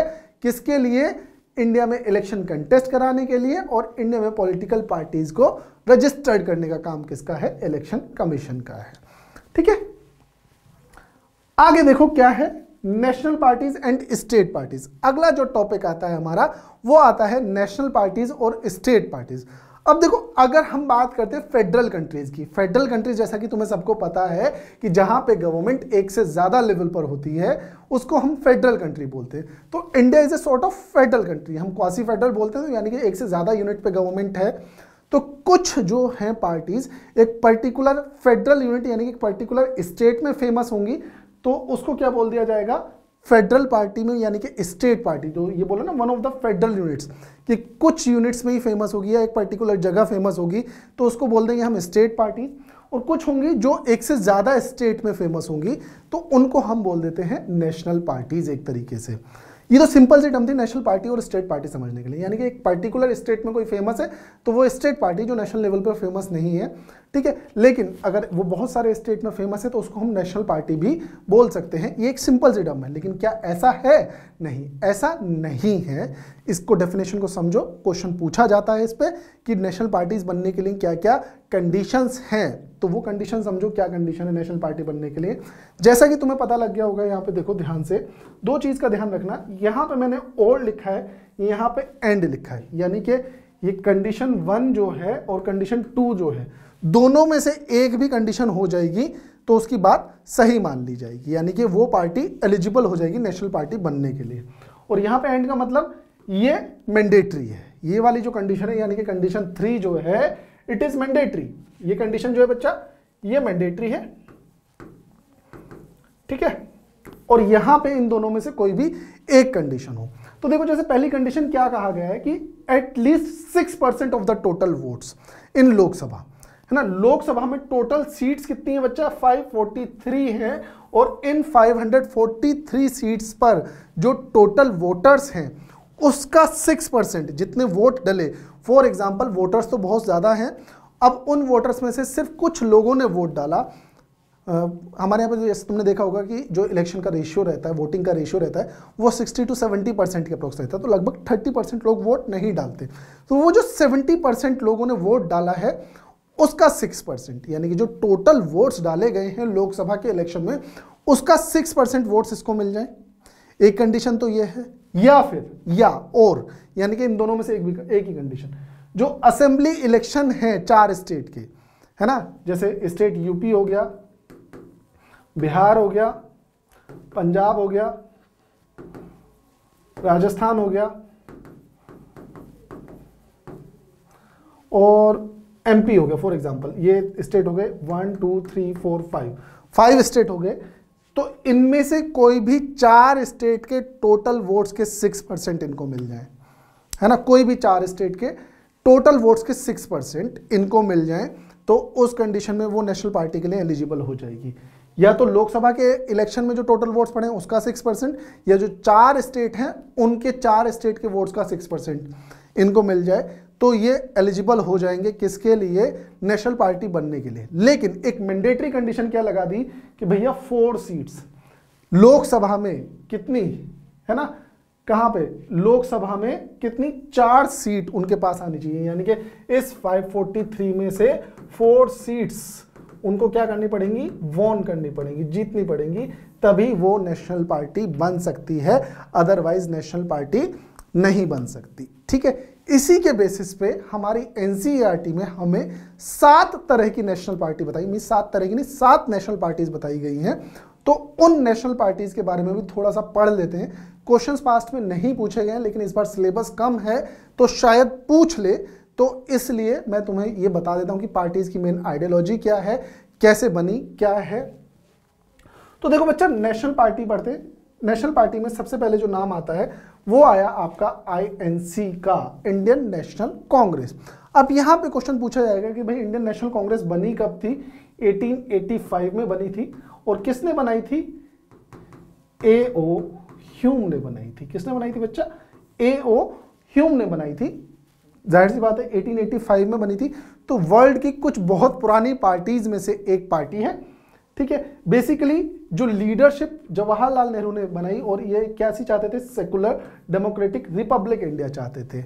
डेमोक्रेसी का मतलब तुम्हें सबको पता है, जहाँ पे गवर्नमेंट चुनने की छूट होती है इलेक्शन के थ्रू रिपब्लिक जहाँ पे कंट्री का हेड जो है, वो भी इलेक्टेड होगा। सेकुलर का मतलब क्या हो गया कि भैया इंडिया जो है, वो एक ऐसा कंट्री होगा जो हर रिलीजन को इक्वलिटी की नज़र से देखेगा, किसी के साथ कोई भेदभाव नहीं करेगा पर्टिकुलर रिलीजन के बेसिस पे। ये होता है सेकुलरिज्म अब आइडियोलॉजी कैसी है? सेंट्रलिस्ट आइडियोलॉजी या सेंट्रिस्ट आइडियोलॉजी तुम पढ़ोगे इसके बारे में। तो अब यहाँ तुम्हारे दिमाग में क्वेश्चन आ जाएगा कि सर सेंट्रलिस्ट आइडियोलॉजी क्या होती है? तो देखो, तीन तरह की आइडियोलॉजी हम पढ़ते हैं बच्चा। एक होती है हमारे पास लेफ़्ट एक होगी राइट ज़ाहिर सी बात है ना? एक होगी सेंटर यहाँ पे याद रखना लेफ़्ट को इस तरीके से समझो प्रो चेंजर जो सोसाइटी में चेंज चाहते हैं, उनको क्या बोला गया है? लेफ्टिस्ट है ना? राइट right क्या चाहते हैं? नो चेंजर यानी कि ये चेंज के बहुत खिलाफ होते हैं कि चेंज हो भी तो बहुत स्लोली हो, और सेंटर क्या होते हैं? ये न्यूट्रल होते हैं। चेंज होगा तब भी ठीक है, नहीं होगा तब भी ठीक है। ठीक है, ये सेंट्रिस्ट आइडियोलॉजी होगी। तो कांग्रेस क्या है? एक ऐसी पार्टी है जो चाहती है कि सोसाइटी में चेंज हो, तब भी हमें कोई दिक्कत नहीं है। सोसाइटी चेंज ना हो, तब भी हमें कोई दिक्कत नहीं है। ठीक है? तो इसको तुम लिंक कर सकते हो अपने कौन से चैप्टर से? रशियन रिवोल्यूशन से socialism in Europe and Russian revolution से। तो तुमने वहाँ पे सबसे पहले पढ़े थे कौन? लिबरल्स पढ़े थे ना? तो लिबरल्स को समझ लो। जो सोशलिस्ट थे सोशलिस्ट जो थे, वो बेसिकली वो लेफ्टिस्ट थे। है ना? सोसाइटी में चेंज चाहते थे और कहते कि जो प्रॉपर्टी है वो सब में डिवाइड हो जाए वर्किंग क्लास को फ़ायदा मिलना चाहिए। ये सारी की सारी चीज़ें लेफ्टिस्ट चाहते थे। ये सोशलिस्ट आइडियोलॉजी हो जाएगी। राइटिस्ट आइडियोलॉजी वो हो जाएगी, जैसे कंजर्वेटिव्स वो चाहते थे कि सोसाइटी में चेंज हो, बहुत स्लो हो, इतनी फास्ट नहीं होना चाहिए। और जब सोसाइटी में चेंज हो रहा है तो अपने पास्ट को ध्यान रखा जाए। है ना? कंजर्वेटिव याद होंगे तुम्हें। फिर सेंट्रिस्ट में क्या था? सेंट्रिस्ट में किसको बोल सकते हैं एक तरीके से? हाँ सेंट्रिस्ट को तो ये अलग ही चीज़ है है ना? मीन्स ये मान के चलो कि इनका दोनों का मिक्सचर कि ठीक है, इनकी बात भी सही है, इनकी बात भी ठीक है, हम ऐसे ही गवर्नमेंट चला लेंगे। उनको बोला गया है सेंट्रिस्ट है ना? तो ये तुम्हें समझ में आ गया होगा कि लेफ़्ट राइट और सेंटर क्या होता है। तो यहाँ पे कांग्रेस को कैसी पार्टी बोला गया बच्चा? सेंट्रिस्ट पार्टी बोला गया है। इसके बाद की कहानी समझो। अगला नाम आता है हमारे सामने बीजेपी भारतीय जनता पार्टी का। कब 1980 में भारतीय जनसंघ के नाम से जानी जाती थी। और अब किस नाम से जानी जाती है? भारतीय जनता पार्टी के नाम से जानी जाती है। बेसिकली किसके ऊपर? कल्चरल नेशनलिज्म है ना? तो थोड़ा सा राइट आइडियोलॉजी बोली जाती है इसको कि पुरानी चीज़ें नहीं छोड़नी चाहिए। हमें बेसिकली हिंदुत्व, यानी कि जो एक ही कल्चर के लोग हैं, अगर, जैसे इंडिया में अगर हिंदूज हिंदूज होंगे तो कंट्री में यूनिटी बढ़ेगी। है ना? उससे इनका मानना यह है कि एक ही कल्चर को ज़्यादा सपोर्ट करेंगे तो एक ही कल्चर को सपोर्ट करने की वजह से क्या हो जाएगा? यूनिटी बढ़ेगी। अगर एक अलग अलग कल्चर के लोग होंगे तो वहाँ पे यूनिटी नहीं होगा। कंट्री डिसइंटीग्रेट होने के चांसेस ज़्यादा है। इनके दो मेजर पॉइंट थे। एक तो जम्मू एंड कश्मीर। जैसे तुम्हें पता है, जम्मू एंड कश्मीर अभी तक कुछ टाइम पहले तक, यानी कि 2019 से पहले तक क्या था जम्मू एंड कश्मीर? एक ऐसा स्टेट था जिसका अपना अलग कॉन्स्टिट्यूशन था, अलग फ्लैग था, अलग एंथम था। लेकिन अब इन टू में इसको खत्म कर दिया गया। तो ये जो मुद्दा था, ये खत्म। Uniform civil code, uniform civil code क्या होता है? दो तरह के लॉज हमें पता है। एक सिविल लॉज होते हैं, एक क्रिमिनल लॉज होते हैं। तो सिविल लॉज जो आपका कल्चर और ट्रेडिशन है, उसके ऊपर बनाए गए होते हैं। तो इंडिया की सोसाइटी को दो पार्ट में डिवाइड किया गया हिंदू और मुस्लिम। तो दो कोड बिल हैं, एक हिंदू कोड बिल जो हिंदूज आइडियोलॉजी के हिसाब से बनाया गया एक मुस्लिम कोड बिल जो मुस्लिम्स के कल्चर के हिसाब से बनाया गया इनके डिमांड क्या है कि ये खत्म करके एक ही करो। जब हम सेकुलर कंट्री हैं तो सबके साथ एक ही होना चाहिए। तो ये बारे में बात की गई है। 1998 में इन्होंने सबसे पहले नेशनल डेमोक्रेटिक अलायंस बनाया था। मैंने बताया था ना कोalition गवर्नमेंट में दो कोalition फ़ेमस हैं। एक एनडीए नेशनल डेमोक्रेटिक अलायंस उसमें मेजर पार्टी है बीजेपी एक है यूपीए यूनाइटेड प्रोग्रेसिव अलायंस जिसमें मेजर पार्टी है कांग्रेस। तो ये समझ में आ गया होगा। इसके बाद अगली जो नेशनल पार्टी आती है, वो कौन सी आती है? All India Trinamool Congress AITC Mamata Banerjee ने 1998 में बनाई थी। और 2016 में इसको नेशनल पार्टी बना देगा जो यानी कि जो कंडीशन हमने पढ़ी नेशनल पार्टी की, क्या? छः परसेंट वोट हो या तो लोकसभा में, या फिर छः परसेंट वोट हो चार स्टेट के असेंबली इलेक्शन में, और साथ ही साथ चार सीटें होनी चाहिए लोकसभा में। उन कंडीशन को ये फुलफिल करती है और ये क्या करती है भैया? एक नेशनल पार्टी बन जाती है। आइडियोलॉजी क्या है? सेकुलरिज्म और फेडरलिज्म सेकुलरिज्म तुम्हें पता है था अभी मैंने कि जहाँ पे हर रिलीजन को इक्वलिटी मिले फेडरलिज्म क्या कहता है? फेडरलिज्म तुम्हें पता है कि हम यहाँ पे सेंट्रल गवर्नमेंट और स्टेट गवर्नमेंट दोनों को इक्वली क्या मिलना चाहिए? दोनों को इक्वल कहते हैं ना लेवल पे रखा जाए कि सेंटर के पास सेंटर की पावर रहे और स्टेट के पास स्टेट की पावर रहे। वेस्ट बंगाल में इस टाइम पे पावर में है और अरुणाचल प्रदेश, मणिपुर और त्रिपुरा, यहाँ पे इसकी प्रेजेंस है कि यहाँ पे ये पार्टी ज़्यादा एक्टिव है वेस्ट बंगाल के अलावा। क्योंकि तुम्हें लग रहा होगा कि सारे के सारे स्टेट लगभग आसपास के ही हैं तो इसलिए यहाँ पे ये थोड़ी सी एक्टिव है। फिर बीएसपी की बात करते हैं। बीएसपी 1984 में किसने काशीराम लीडर थे जिन्होंने बनाई थी। फ़िलहाल जो मेजर लीडर है इसकी वो कौन है? मायावती है। ठीक है? बेसिकली फ़ेमस कहाँ कहाँ पे है ये पार्टी? यूपी दिल्ली और पंजाब में फ़ेमस है। ठीक है? किसके लिए? ओबीसी और रिलीजियस माइनॉरिटीज और दलित्स इनके लिए ये काम करती है। ठीक है? और बेसिकली आइडियोलॉजी किस किस की फॉलो करती है? यहाँ से क्वेश्चन पूछा जा सकता है। तो इनके नाम याद रखना किस किस की आइडियोलॉजी को ये फॉलो करके ये पार्टी बनाई गई थी। है ना? Bhimrao Ambedkar father of Indian constitution भी कहा जाता है। ठीक है? और ज्योतिबा महात्मा फूले इनकी बात की गई है। साहू जी महाराज की बात की गई है। और पेरियार और रामास्वामी नईकर की बात की गई है, जिन्होंने दलित मूवमेंट्स में अलग अलग तरीके से अपने लेवल पे काम किया है दलित्स के अपलिफ्टमेंट के लिए। इसके बाद आता है CPI Communist Party of India 1925 यानी कि जब तुम रशियन रेवोल्यूशन पढ़ रहे थे 1917 में तो वहाँ पे एक आदमी की एंट्री पढ़ी होगी तुमने व्लादिमिर लेनिन बोल्शेविक पढ़े थे ना? तो वो बोल्शेविक वाले जो व्लादिमिर लेनिन थे, उनकी आइडियोलॉजी को फॉलो करती है। कार्ल मार्क्स को भी पढ़ा था हमने सोशलिज्म इन यूरोप में तो उनकी आइडियोलॉजी को भी फॉलो करती है। सेकुलरिज्म और डेमोक्रेसी के फेवर में है कि डेमोक्रेसी होनी चाहिए और सेकुलरिज्म भी होना चाहिए। साथ साथ जो वर्किंग क्लास है और फार्मर्स ऑफ़ द पुअर है ना, जो पुअर हैं, उनके लिए काम करना चाहती है, जो सेक्शनिज्म और कम्युनलिज्म इनके बारे में बात करते हैं। कम्युनलिज्म और कम्युनिज्म दोनों अलग टर्म है बच्चा, याद रखना। कम्युनलिज्म क्या है? आप किसी पर्टिकुलर रिलीजन को फेवर कर रहे हो, एक पर्टिकुलर रिलीजन के कंटेक्स्ट में, है ना? मीन्स एक रिलीजन को फेवर कर रहे हो, एक रिलीजन को फेवर नहीं कर रहे हो। तो ये हो जाता है कम्युनलिज्म है ना? तो कम्युनिज्म क्या होता है? सॉर्ट ऑफ़ सोशलिस्ट यानी कि सबको इक्वलिटी मिले। तो वो कम्युनिज्म है। केरला, वेस्ट बंगाल, पंजाब, आंध्र प्रदेश और तमिलनाडु में ये फ़ेमस है। इस पार्टी के आइडियोलॉजीज में कुछ डिफरेंसेस आते हैं किसके साथ? है ना? अपने ही लोगों के साथ। तो एक नई पार्टी बन जाती है 1964 में। मार्क्सिज्म लेनिज्म में सेम ही आइडियोलॉजी है सीपीआईएम ठीक है? लेकिन वो बेसिकली कम्युनिस्ट पार्टी थी और ये कैसी पार्टी बन जाती है बच्चा? सेंट्रिस्ट पार्टी है ना? सेंट्रिस्ट पार्टी बन जाती है नाइदर राइटिस्ट और नॉट लेफ्टिस्ट तो basically secularism welfare of weaker sections and minorities के बारे में बात करती है। वही सेम चीज़ है, लेकिन थोड़े नए तरीके से, है ना?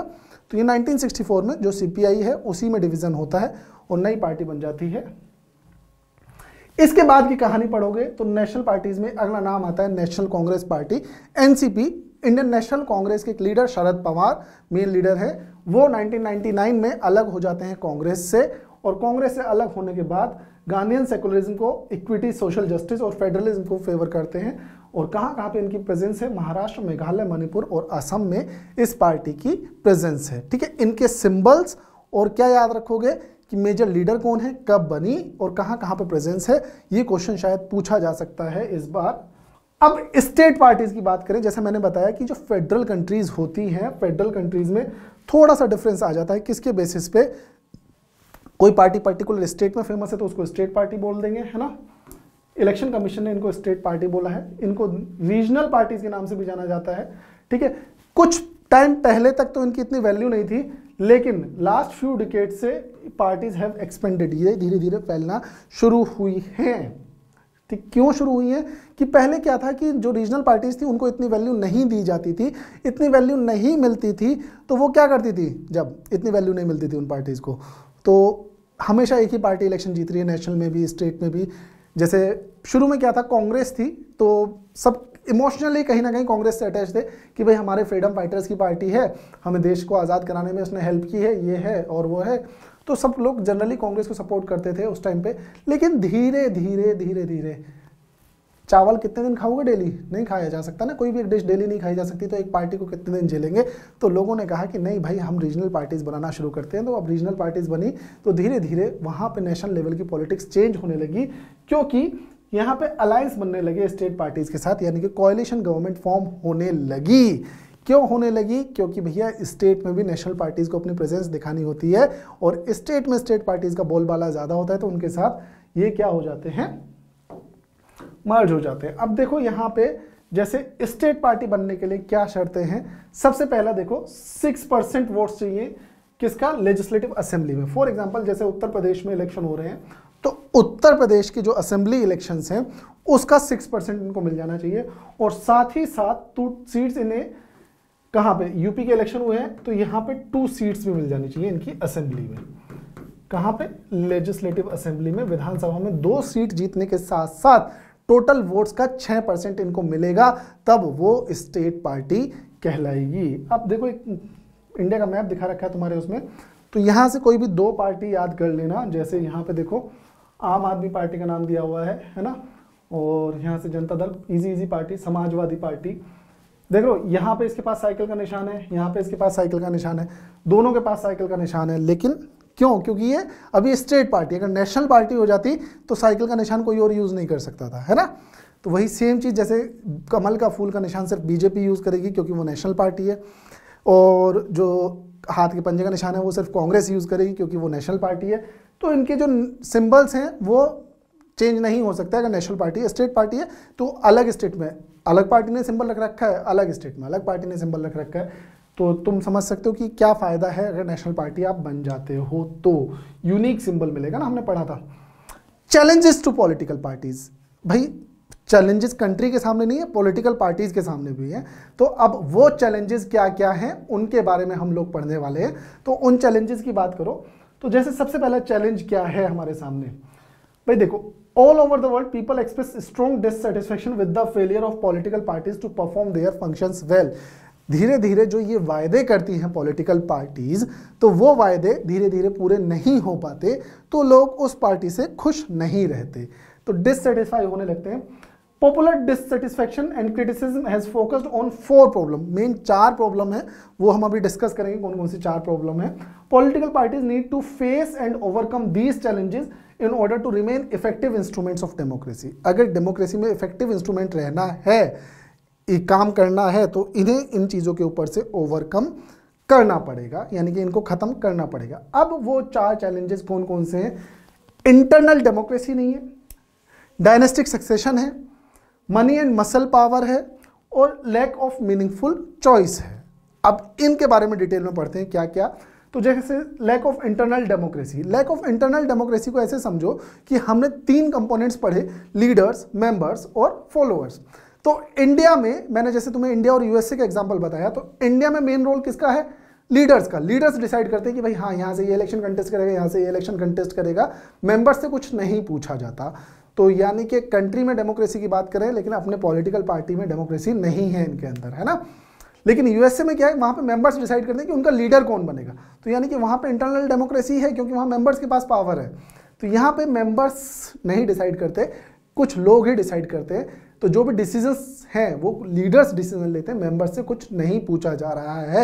इसी को बोला गया है लैक ऑफ़ इंटरनल डेमोक्रेसी तो ये तुम्हें समझ में आ गया होगा, है ना? देखो all over the world there is a tendency in political parties towards the concentration of power in the और few leaders at the top parties do not keep membership registers, do not hold organizational meeting and do not conduct internal elections regularly.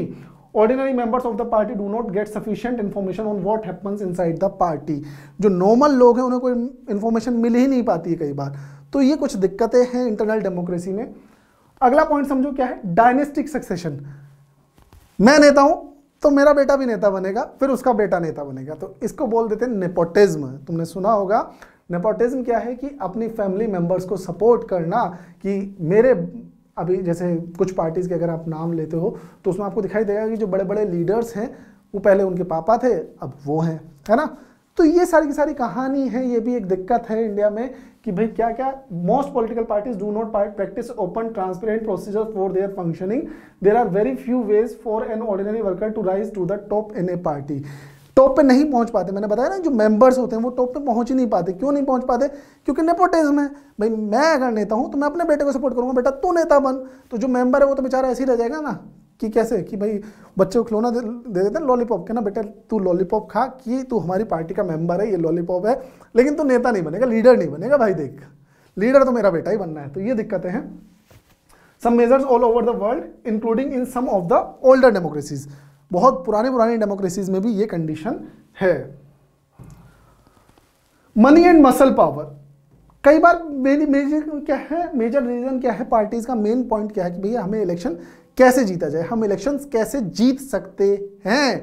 उनका main role ये है। They tend to nominate these candidate who have can raise a lots of money यानी कि जो उन्हें बहुत सारा पैसा दे कि भैया मुझे पैसा मिलेगा, मैं आपको टिकट दे दूँगा, आप इलेक्शन कंटेस्ट कर लो। जनरली पार्टीज़ देती हैं have influence on the policies and decisions of the party अब कुछ अमीर लोगों ने जो पैसा दिया, है ना? अब फॉर एग्जांपल अडानी जी की बात कर लेते हैं, है ना? अडानी जी ने गिफ्ट दिया कि, यार देखो, मैं आपको गिफ्ट दे रहा हूँ, एक पर्सन एक्स को, कि भाई, मेरा को लग, आप, मुझे लगता है कि आप देश के लिए बहुत अच्छा काम कर रहे हो तो मैं आपको कुछ फंडिंग दे दे रहा हूँ तो मैंने आपको एक हज़ार करोड़ रुपए दे दिए। अब कल को आपको पता है, अडानी जी ने इलेक्शन में आपको एक हज़ार करोड़ रुपए दिए। अब अडानी जी कहते हैं, यार, मेरी ये फ़ाइल पास कर दो ना ज़रा। पर्सन एक्स से। तो पर्सन एक्स फ़ाइल पास करेगा या नहीं करेगा? तो बिल्कुल करेगा। तो ऑब्वियस सी बात है तो कहीं ना कहीं पैसे का रोल रहता है। कई बार किसी पर्टिकुलर एरिया में वहाँ पे होल्ड होता है किसी क्रिमिनल का। तो वो जो क्रिमिनल है, वो जो क्रिमिनल है, क्या होगा उस क्रिमिनल को? टिकट दे दिया जाएगा कि भाई, तेरे से लोग डरते हैं, तू इलेक्शन कंटेस्ट कर, तू जीत जाएगा। तो मनी एंड मसल पावर का बहुत बड़ा रोल है। लैक ऑफ़ मीनिंगफुल चॉइस है ना? वैरायटी की कमी है है ना? खाने का मेन्यू है हमारे पास तो उसमें वैरायटी की कमी है। अब फॉर एग्जांपल तुम्हारे यहाँ पे बहुत सारे तरीके के खाने की चीज़ें हैं तो चूज़ करना इजी रहता है। जैसे तुम्हें पता है कि हाँ भाई, ये स्वीट डिश है, ये मेन कोर्स है, ये ब्रेकफास्ट है, ये पेटाइज़र है तो आपको पता है कि हाँ अगर अच्छा मेरा ब्रेकफास्ट करने का मन है तो चलो मैं ब्रेकफास्ट कर लेता हूँ, ठीक है? मेरा दाल रोटी खाने का मन है तो मैं दाल रोटी खा लूँगा, मेरा चावल खाने का मन है तो मैं चावल खा लूँगा। तो वहाँ पे वैरायटी हो जाएगी। अब सोचो, चावल की चार पाँच तरह की वैरायटी रख दी जाए तुम्हारे सामने, है ना? या नूडल्स की चार पाँच तरह की वैरायटी रख दी जाए। तो तुम क्या कहोगे कि यार चलो, जो मुझे सबसे अच्छा नूडल्स लगता है वही खा लेता हूँ, है ना? अगर वैरायटी होगी तो वैरायटी में से तुम्हें चूज़ करना ईजी रहेगा। लेकिन जब तुम्हें पता है सारी की सारी चीज़ें एक सी ही है पहले तो अलग अलग आइडियोलॉजी थी, लेकिन अब जनरली सभी पॉलिटिकल पार्टीज़ की आइडियोलॉजी लगभग सेम होती जा रही है। जब सब पॉलिटिकल पार्टीज़ की आइडियोलॉजी लगभग सेम होती जा रही है तो हमें चूज़ करने में दिक्कत होती है। दिक्कत है तो फिर हम क्या करें? तो हम लोग कहते हैं कि भाई, हम इसको वोट दे देते हैं, काम खत्म, बस। ठीक है?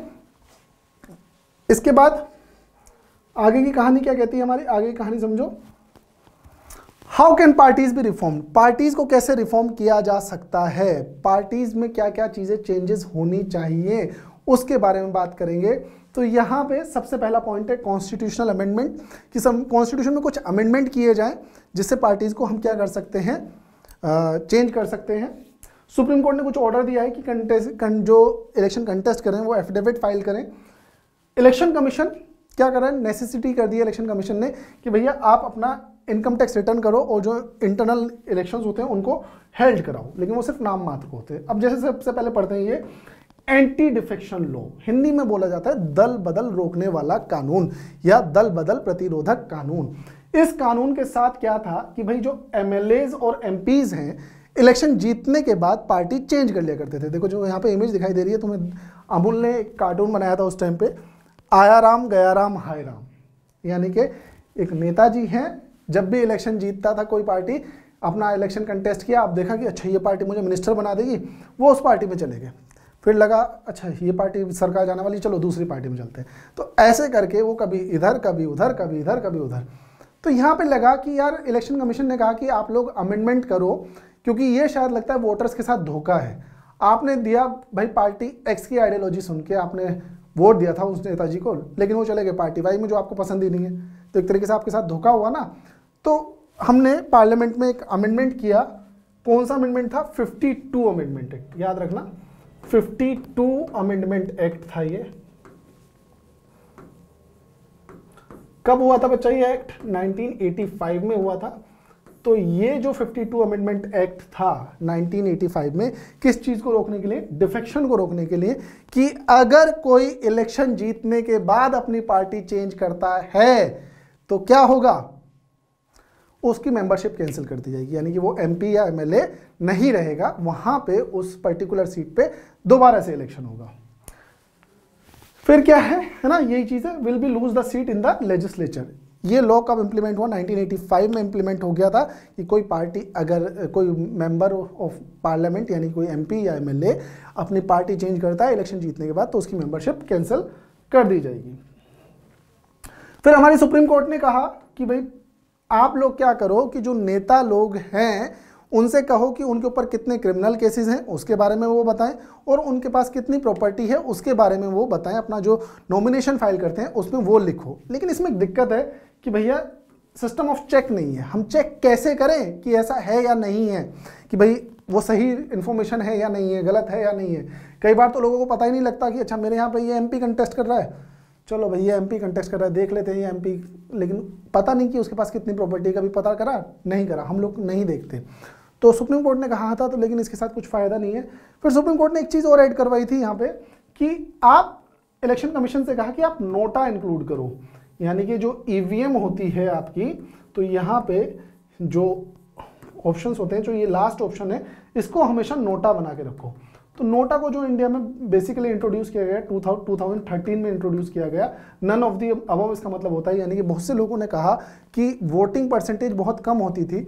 तो लोगों ने कहा कि मुझे कैंडिडेट पसंद नहीं है तो इसलिए मैं वोट नहीं देने जाता। तो सुप्रीम कोर्ट ने कहा कि आप नोटा इंट्रोड्यूस करो कि जिससे क्या है मिस यूज़ बच जाएगा। वोट्स का नोटा, यानी कि नन ऑफ़ दी अबव की बात करी जा रही है कि इनमें से कोई भी कैंडिडेट मुझे पसंद नहीं है। आगे की कहानी समझो, आगे की कहानी क्या कहती है बच्चा? इनकम टैक्स रिटर्न भरने के लिए काम की, लेकिन पार्टीज़ बहुत तेज हैं। पार्टीज़ ने कैश में पैसा लेना स्टार्ट कर दिया कि इनकम टैक्स भरेंगे, किसका जो लीगली हमारे पास पैसा आ रहा है, उसी का बात उसी का भरेंगे ना। अब पार्टीज़ क्या करती हैं तो बॉन्ड्स में पैसा ले लेती हैं। इलेक्टोरल बॉन्ड्स तुमने सुने होंगे। इलेक्टोरल बॉन्ड्स के लिए आपको इलेक्शन क्या कहते हैं इनकम टैक्स नहीं देना पड़ता। या कैश में पैसा ले लेंगे इनकम टैक्स नहीं देना पड़ता। और इंटरनल इलेक्शन तो भूल ही जाओ। है ना इंटरनल इलेक्शन तो हुए, होते ही नहीं है। तो ये कुछ कमियाँ हैं जो हमने पढ़ी। अब उसके बाद हम पढ़ते हैं कुछ सजेशंस ये सजेशंस हैं जो अभी तक इम्प्लीमेंट नहीं हो पाए। वो हैं, उनमें से कुछ इम्प्लीमेंट हो गए वो जो अभी हमने पढ़े थे, वो इम्प्लीमेंट हो चुके हैं। ठीक है? ये वो हैं जो अभी तक इम्प्लीमेंट नहीं हुए हैं। जैसे मेड एक लॉ बनाना चाहिए इंटरनल अफेयर्स को पॉलिटिकल पार्टीज़ के। कैसे करोगे डिसाइड नहीं हो पाता ना, कि तभी तो डायनेस्टिक सक्सेशन है, ये ठीक से नहीं हो पाता। भाई, जो मेंबर है, वो तो पहुँच ही नहीं पा रहा लीडर तक, सारी की सारी पावर लीडर्स के पास ही है। लीडर्स के पास मेन डिसीज़न पावर है। तो ये कुछ कमियाँ हैं। इसके बाद, अगली कमी आती है विमेन रिजर्वेशन पंद्रह साल से ज़्यादा हो गए हैं इस बिल को अटके हुए पार्लियामेंट में, कि भाई, हम फीमेल्स को thirty three percent seats reserve करके दे रहे हैं। तो ये भी दिक्कत है। है ना? ये भी अभी तक इंप्लीमेंट नहीं हुआ। फीमेल कैंडिडेट होने चाहिए। तभी तो जेंडर इक्वलिटी की बात करिए, जो जेंडर गैप है वो कम होगा। उसके बाद बात की जा रही there should be state funding of elections means जो लोग पार्टी क्या कर रही है, पैसा ले रही हैं बिजनेसमैन से, या किसी से भी तो वो ले रही हैं, उसको कहाँ खर्च करते हैं?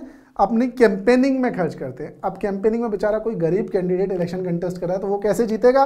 उसके पास तो पैसा है ही नहीं अपना एडवर्टीजमेंट करने के लिए।